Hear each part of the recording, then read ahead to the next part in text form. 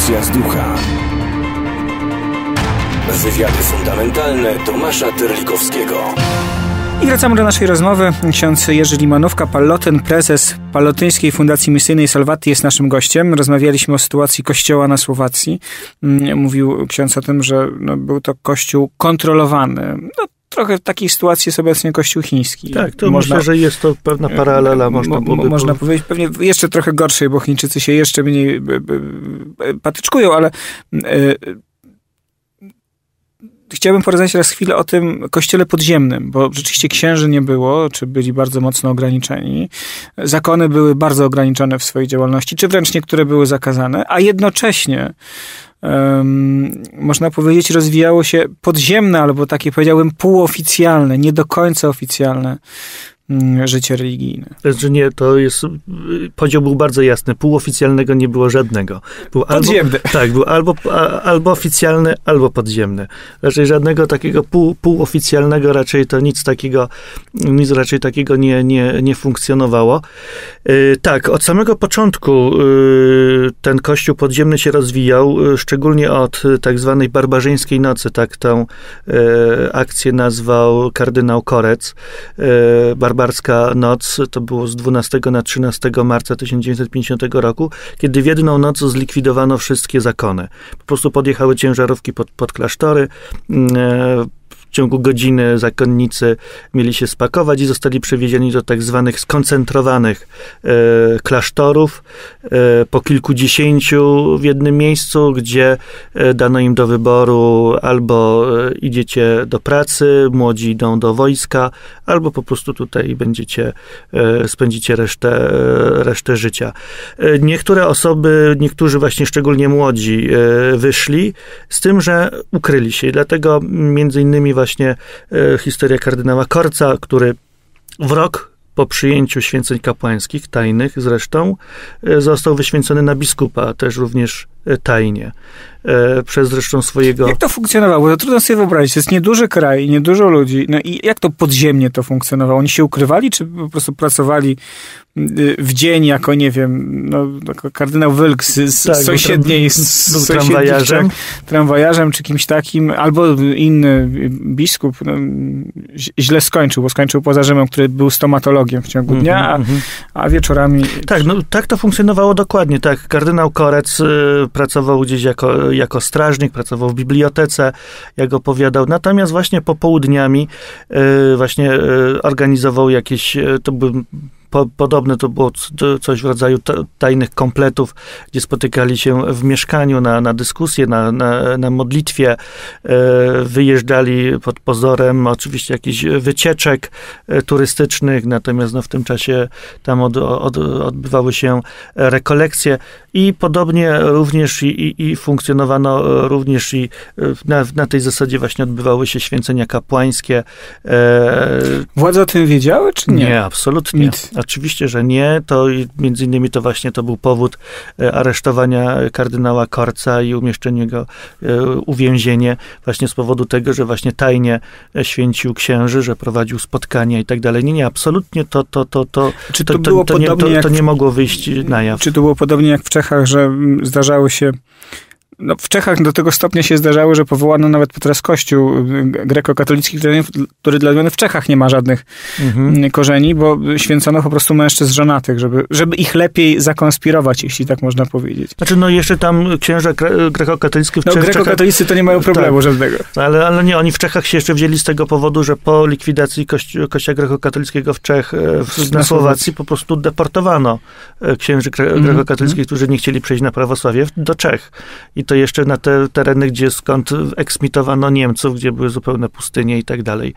Mm, więc niektórzy już tam pozostali, pozakładali też tam wspólnoty i tak dalej, więc w ten sposób Kościół grekokatolicki znalazł, znalazł się w Czechach. Natomiast tutaj to funkcjonowało zupełnie, zupełnie to było tajne, to było nawet tam, czytając wspomnienia, to było do tego stopnia, że y, matka nie wiedziała, że jej syn jest księdzem, że absolutnie y, nie, nie, nie przyznawał się to, po prostu gdzieś tam w stołach były skrytki, gdzie, gdzie były schowane paramenty liturgiczne, które mm, po prostu odprawiano zupełnie, zupełnie pokryjomo. Z tym, że jako kościół podziemny to funkcjonował tylko i jedynie e, zakony. Y, bo nie byli święceni księża diecezjalni potajemnie, -hmm. dlatego, że oni nie... No w Czechach byli, na Słowacji rozumiem nie byli. Nie, na Słowacji nie, dlatego, że oni no, nie mieliby racji bytu, natomiast po prostu tajn, tą tajną pracę prowadzili przede wszystkim, prowadziły przede wszystkim zakony. Palatyni są... też byli tajni? Nie, bo Palatynów jeszcze nie wtedy nie, tam nie, nie, nie, nie, nie, było na Słowacji, znaczy byli, był tam, e, byli Palatyni z Niemiec, którzy opiekowali się, byli dla wspólnoty niemieckiej, ale jako takiej funkcjonować mm, bezpośrednio, to nie, nie, nie, nie funkcjonowali jako takie zgromadzenie. To nie byli redemptoryści? To byli, to byli tak, redemptoryści, znaczy przede wszystkim Salezjanie, bo to mm. był najpoważniej, największy, największe zgromadzenie, e, jezuici, redemptoryści to były zgromadzenia, które po prostu właśnie wtedy. I one, one po prostu organizowały swoje wspólnoty, swoje, swoje, swoją pracę, gromadziły młodzież i tak dalej, i tak dalej, więc to po prostu to funkcjonowało na tej zasadzie. I rozumiem, że mm, również były wspólnoty, jeżeli tak można powiedzieć, częściowo podziemne, czy podziemne po prostu. Nie, nie tylko księża, ale też wspólnoty, które się do nich udawały. Mhm. Z tego co wiem, no tutaj wracamy do Karola Wojtyły na moment. Metropolita krakowski nawet trudno powiedzieć, prowadził szmugiel, ale wspomagał szmugiel mm, Pisma Świętego dla Słowaków. On jak gdyby e, e, słowaccy chrześcijanie, czy i polscy chrześcijanie szmuglowali Pisma Święte przez zieloną granicę, jeżeli tak można powiedzieć, między e, Polską a Słowacją. Tak, no to się tutaj ten ruch odbywał się dosyć, e, do, był, był dość intensywny e, właśnie z, e, między Polską i, i, Słowacją, tutaj właśnie przez różne mm, szczyty górskie, właśnie przez tą zieloną granicę, to jak, naj, jak najbardziej funkcjonowało. Kardynał Wojtyła to jak najbardziej wspierał. Mi osobiście nie udało się dotrzeć, dlatego, bo też czytałem, że w kaplicy właśnie kardynała Wojtyły, w jego prywatnej kaplicy, kaplicy e, w Krakowie, że odbywały się święcenia właśnie kapłańskie, potajemne święcenia kapłańskie e, właśnie duchownych e, słowackich. Z tym, że no, mi bezpośrednio nie udało się dotrzeć do żadnego z księży, który by przyznawał się do tego, że został wyświęcony przez kardynała Wojtyłę. Raczej to czyni, raczej to robili biskupi pomocniczy. Ale krakowscy. Krakowscy, krakowscy biskupi pomocniczy właśnie w Krakowie Krakowie. Czyli rozumiem, że kardynał Wojtyła to musiał wiedzieć. Na pewno o tym wiedział i to na pewno było za jego, za jego przyzwoleniem. E, znaczy, tak, bo przed, tą, przed wizytą papieską, tak, no, oczywiście, że tam różnie wyciągano różne rzeczy i tak dalej, wspomnienia i tak dalej, więc to jak gdyby tak krążyło, ale mi osobiście nie udało się ustalić żadnego nazwiska e, księdza słowackiego, który by się przyznawał i by powiedział, tak, tak, ja zostałem właśnie wyświęcony przez, e, przez kardynała. Rozmawiał ksiądz zapewne ze Słowakami. E, jak oni przyjęli te powiedziałbym, zaskakujące słowa w czasie pierwszej pielgrzymki do Polski, już żeby nie mówić o pielgrzymce na Słowację. Pierwsza pielgrzymka do Polski. I papież, który mówi nie tylko o Polakach, ale mówi o Słowianach. Pozdrawia wspólnoty mm, czeską, akurat chyba czeską pozdrawiał, ale Słowaków też pozdrawiał kilkakrotnie, mm, które się jakoś dostały, no normalnie się dostały do Polski, ale roz, rozłożyły swoje mm, transparenty ze swoimi napisami. Jak oni wspominali te wydarzenia, które, czy, czy to dla nich tak jak dla Polaków, też było, był początek świadomości, że coś może się zmienić? Znaczy, myślę, y, trudno to tak powiedzieć, bo ja bym aż tak może, aż tak bardzo bym tutaj nie, nie, nie, nie ryzykował. Y, na pewno wstąpiła nadzieja i tak jak rozmawiałem tutaj z, ze Słowakami, z tych wspomnień i tak dalej, to dodało im skrzydeł, to, to, im jakoś, to, to oczywiście, że ich umocniło, że e, właśnie papież Słowianin tutaj właściwie z zamiedzy mm, e, jest e, kardynał właściwie tak z zamiedzy, że jest ich, jest, jest papieżem.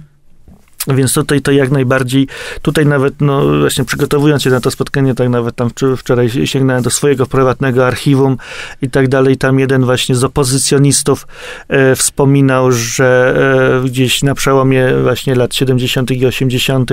U, słuchał tam przez Wolną Europę e, orędzia Jana Pawła II, Urbi et Orbi, bodajże z, e, z, z Bożego Narodzenia, gdzie właśnie on zachęcał właśnie tych, którzy są są za tą żelazną kurtyną, aby popatrzyli w niebo. E, I on właśnie te słowa pamięta, bo że faktycznie on wyszedł wtedy z domu, popatrzył e, na, na, na niebo, na tę otwartość e, i to, to jak gdyby to cały czas w nim to po prostu tak tkwi. Tak więc to oczywiście, że to no, później kontakty, no właśnie już kardynał Korec, który mm, był znany kardynałowi Wojtyle jeszcze w Krakowie, także tutaj te, te, te, te relacje po prostu się zacieśniały i po prostu to na pewno dodało im du dużo otuchy.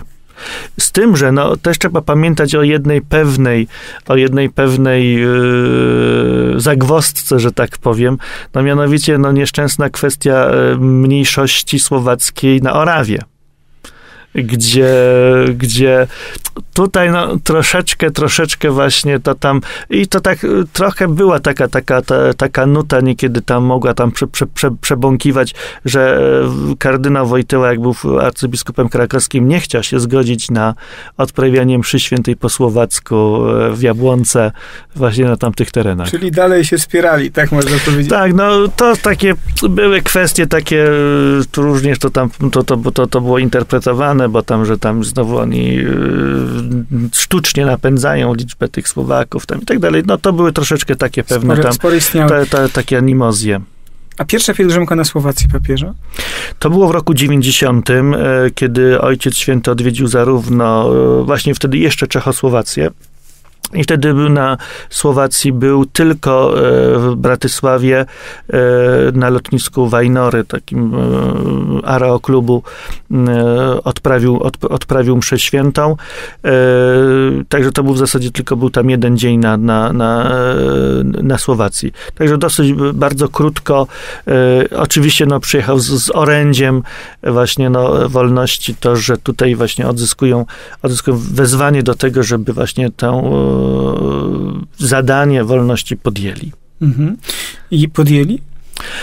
No tak. Y, no to się już potem, później to się wszystko już zaczęło komplikować, z tym, że tym bardziej, że y, to są w zasadzie też no, pewne okresy, jeśli chodzi o, o, o Słowację. Mianowicie, że w, od 1 stycznia 1993 roku Słowacja stała się niezależna. E, oddzieliła się od e, Czech. Ja od razu zadam pytanie, czy były poprzednio też były dwie osobne organizacje kościelne, czy też... Tak, tak, cały nawet, czas. Nawet za Czechosłowacji tak, była tak. Słowacka Konferencja Biskupów mm -hmm, i Czeska mm -hmm. Konferencja Tak, to było zawsze. Tutaj nie to, było to, to, to, było, to, to było zawsze. Ten dualizm zawsze, z, zawsze był, oni zawsze odczuli, czuli się osobno e, i tak dalej, tak więc tutaj to nie było najmniejszego, najmniejszego problemu.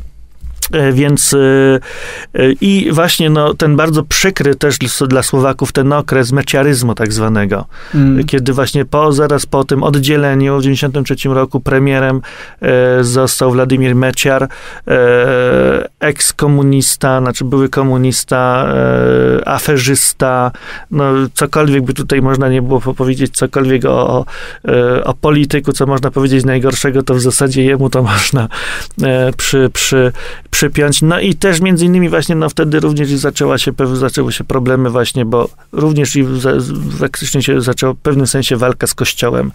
To e, znaczy? Tak, no. e, znaczy walka z tym kościołem, znaczy w tym znaczeniu, że mm, ograniczanie mocno, mocno roli Kościoła w, w, w ograniczenie roli Kościoła e, w społeczeństwie i tutaj bezpośrednio również walka z biskupami. No, był taki nazwany słynny przykład biskupa Balarza z Bańskiej Bystrzycy, który e, dosyć był radykalny z kolei w swoich poglądach e, na temat właśnie rządów e, Meciara i wplątanie go w pewną aferę, oskarżanie i tak dalej. Tam była gra bardzo nie, nie, nie, nieczysta, afery właśnie, żeby zdyskredytować biskupa Balarza w oczach społeczeństwa. Oczywiście zatrzymanie, zatrzymanie kwestii zwracania majątków kościołowi. E, także to cały właśnie to było, był to bardzo trudny okres e, dla, dla kościoła. W, w Do tej rozmowy już za moment, za moment wrócimy. Naszym gościem jest ksiądz Jerzy Limanówka, Pallotyn, prezes Palotyńskiej Fundacji Misyjnej Salvatti. Zostańcie Państwo z nami. Rewolucja z ducha. Wywiady fundamentalne Tomasza Terlikowskiego.